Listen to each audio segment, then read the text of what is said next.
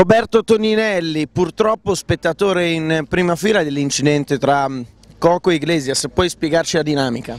Praticamente in fondo al dritto Geremia ha rotto, ha rotto improvvisamente il motore, ha grippato e inizialmente ha scattato verso sinistra, poi si è girato su se stesso e è rientrato proprio in piena traiettoria e Cocò l'ha centrato in pieno, una botta esagerata.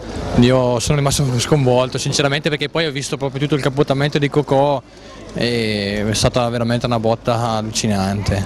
È una fortuna che sia finita come è andata, nel senso eh, tutto sommato nulla di grave, ecco. Beh, speriamo perché penso che Geremia ci ha rotto il braccio e Cocò sta facendo l'attacco perché pensano che abbia delle lesioni interne, però sai, sono tutte cose che si dicono.